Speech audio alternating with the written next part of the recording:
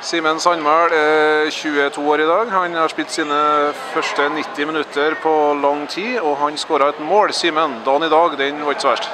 Nei, det var, det var artig i dag. Vi, vi fortjente 4-0 mot et eh, ja, OK lag. De la seg, la seg være lavt og slo langt, så det var ikke noe tvil om hvem som var best lag. nei.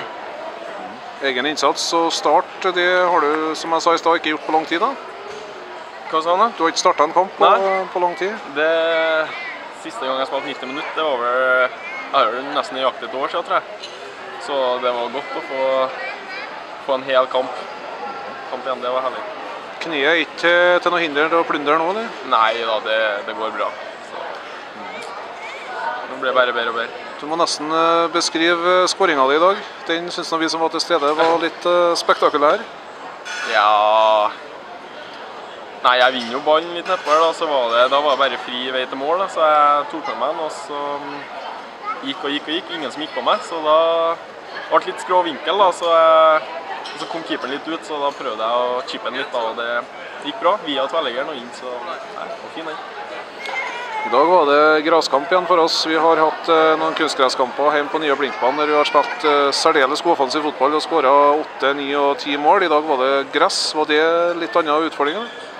Ja, det var litt uvant, jeg finner om det, men eh, jeg syns det er veldig artig å spille på gress. da.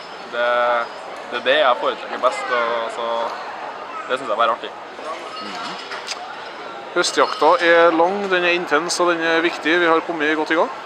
Ja, vi har det. Så det er opp til oss sjøl. Vi, vi har alle mulighetene, så vi må bare ta en kamp på gangen og sanke så mye poeng som mulig. Alvdalen eh, neste utfordring. Du var med på Alvdalen i fjor, men naturligvis ikke i år. da. Eh, Hva er det vi skal jobbe med uansett for å bli enda bedre enn det vi var i dag? Nei, hjemme mot Alvdal skal det være tre poeng, men vi må bare være fokusert og gjøre det, gjøre det ordentlig og ikke ta lett på det. Og hvis vi gjør det, da, da slår vi Alvdal hjemme. Og Det kan vi kanskje si litt om, vi som husker i fjorårssesongen, at vi eh, rota bort noen poeng i fjor. Der vi på forhånd trodde at det kom snart til å skje. Ja. Der har vi kanskje blitt flinkere. Ja, jeg håper nå det. Så vi må bare ikke tro at det skal gå av seg sjøl, i hvert fall mot, sånn, i sånne kamper. Så um, hvis vi er 100% skjerpa og har full innsats, da, da vet jeg vi vinner. Vi må bare passe på at vi gjør det.